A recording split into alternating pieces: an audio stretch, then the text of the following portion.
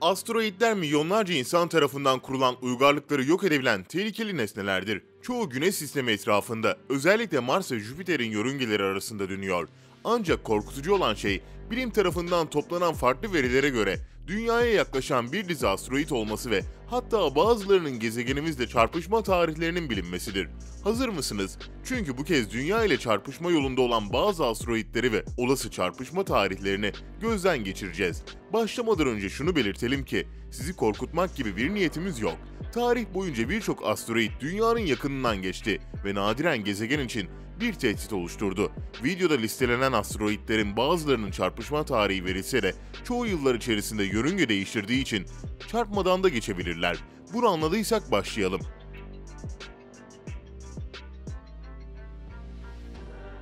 Beş numara Asteroid 1999 RQ36 2182 yılı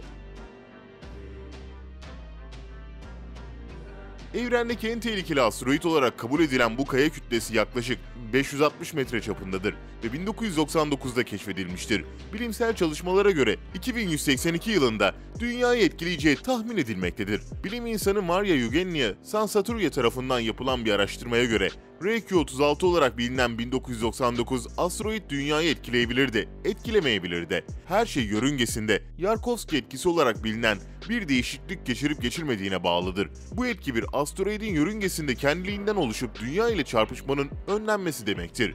Ancak asteroid yörüngesinde bir değişiklik geçirmezse çarpışmanın kesin tarihi bilinmemekle birlikte 2182'de çarpışma olması bekleniyor.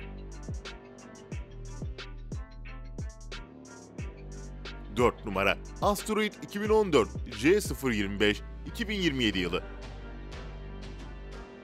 bu asteroid 2014 yılında keşfedildi. NASA'nın bilimsel araştırma ajansı dikkati bu asteroidin üzerinde. Çünkü bu asteroidin yansıttığı yol dünyaya çok yakın geçeceğini gösteriyor. NASA asteroidin dünyadan sadece 1.8 milyon kilometre ötesinden geçeceğini tahmin ediyor.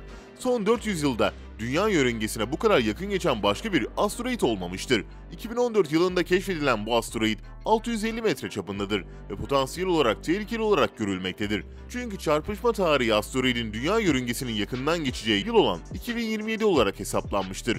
Asteroid 2014 J025 NASA tarafından şimdiye kadar keşfedilen en küçük asteroidlerden biridir. Ancak tehlikeli olan yanı dünyanın yörüngesinin bu kadar yakından geçecek olmasıdır. 3 numara Asteroid Bennu 2135 yılı bu asteroid NASA tarafından uzun zaman önce keşfedildi. Başlıca riski 2135 yılında tam olarak 21 Eylül Perşembe günü dünyanın yörüngesine çarpması bekleniyor. O tarihe kadar uzun bir zaman var. Belki çocuklarımız ya da torunlarımız böyle bir çarpışmadan etkilenir ama yine de endişelenmemeliyiz. Çünkü NASA'dan uzman bir grup astrofizikçi Amerika Birleşik Devletleri'ndeki Empire State binası büyüklüğündeki bu asteroidin dünyaya çarpmasını önlemek için çalışıyor. Bu asteroidin dünyaya getirdiği ana tehdit 2135 yılında gezegenimizde olacak yakın çarpışmasıdır. Ancak NASA bu asteroid yörüngesini gezegenden uzaklaştırmak için bir füze fırlatmaya hazırlanıyor. Bunlar hikaye gibi, hatta bilim kurgu gibi görünse de NASA'nın asteroidin dünya ile çarpışmasını önleme planı bu. 2 numara Asteroid 2011 AG5 2040 yılı bu asteroid yaklaşık 140 metre çapındadır ve 2011 yılında NASA tarafından keşfedilmiştir. NASA bilim adamları ve astrofizikçiler 2040 yılında tam olarak 5 Şubat tarihinde bu asteroidin Dünya ile çarpışacağını öngörüyor. Ancak istatistiksel hesaplamalara göre çarpışma olasılığı 1 ile 625 arasındadır ve ister inanın ister inanmayın bu nispeten yüksek bir rakamdır. Bununla birlikte NASA, Dünya ile çarpışmayı önlemek amacıyla asteroidleri Dünya yörüngesinden saptırmak için yeterli zaman olduğunu tahmin ediyor.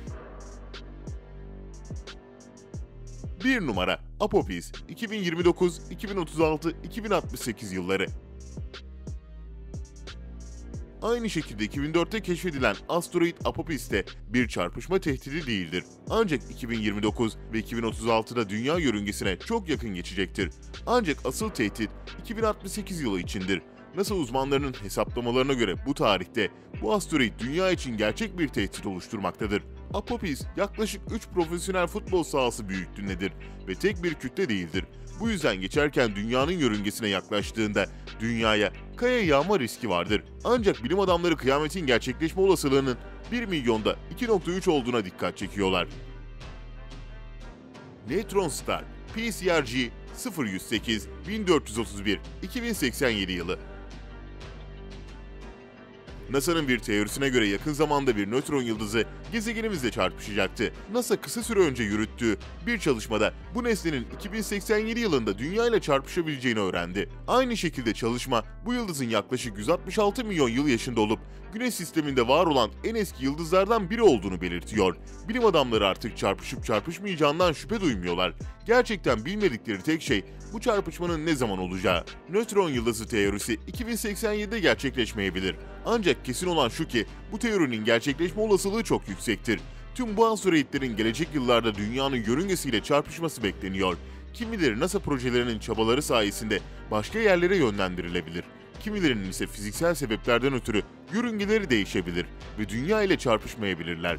Bunlar beklenen yabancı cisimler. Eski tarihlere baktığımızda ise birkaç yabancı cismin dünyaya çarptığını görüyoruz. Gelin onlara hemen bakalım. Hoba, dünyada bulunan en büyük göktaşı. Yeryüzünde bugüne kadar bulunmuş olan en büyük göktaşı Hoba isimli 10 kilometre çaplı bir meteordan düşen bir parçadır. Bu parça 1920 yılında Namibya'da bulundu ve ağırlığı 66 tondan fazladır. Campo del Cielo'da bulunan iki göktaşı. Campo del Cielo, Arjantin'de bulunan bir göktaşı, darbe alanına verilen isimdir. Burada tek bir meteorun darbesine maruz kalan 20 civarında krater bulunuyor. Yaklaşık 5000 yıl önce dünyaya çarpan bu meteorun parçalarının tamamının ağırlığı 100 tonu geçiyor. En görkemli parça olan El Chaco 37 ton ağırlığında. Oldukça geç bir zamanda 1969 yılında yerin 5 metre altında keşfedildi. Ancak bu bölgede 2016 yılında yeryüzüne çıkarılan Gendego adındaki diğer bir göktaşı tarafından tahtından indirilebilir. Gendego'nun henüz onaylanmamış ağırlığı 30 ton olarak tahmin ediliyor.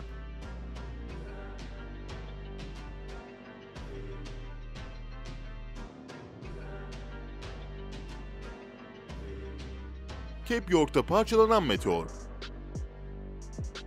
Daha önceden Grönland'da Eskimolar tarafından bulunan Cape York meteorunun kalıntıları 19. yüzyılın sonunda yeniden keşfedildi. Ahnikido adındaki en büyük parçası 30 tondan ağırdır. Ancak meteorun tüm parçalarının toplam ağırlığı 58 ton civarında. Önemli bir kısmı demir ve nikelden oluşuyor ve dünyaya yaklaşık 10 bin yıl önce çarptığı tahmin ediliyor.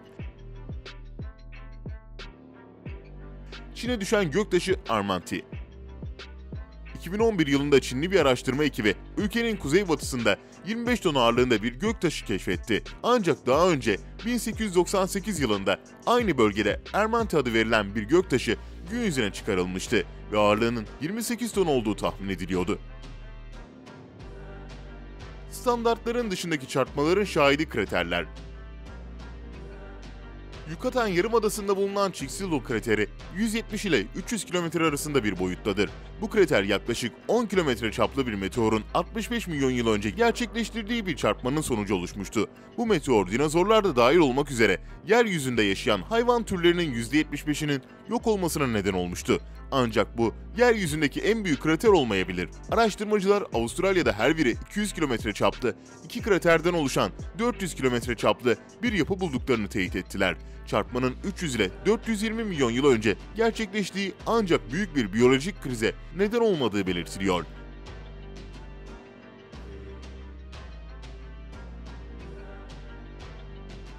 Son olarak bir önceki videomuzda en yaratıcı yorum yapan bir kişiyi göstermek istiyoruz. Emir Durak adlı izleyicimizin yaptığı bu yorum dikkat çekmeyi başarmıştır. Kendisini tebrik ediyoruz. Siz de bir sonraki videoda adınızın olmasını istiyorsanız bu videoya en iyi yorumu yazmayı unutmayın. Güzel yorumuyla bizleri desteklerini belirten Oyun Kulüp adlı izleyicimize de çok teşekkür ediyoruz. Bugünün videosu sona erdi. Eğer beğendiyseniz beğeni tuşuna basmayı ve son olarak hiçbir videomuzu kaçırmamak için de abone olup bildirimleri açmayı unutmayın. Hoşçakalın.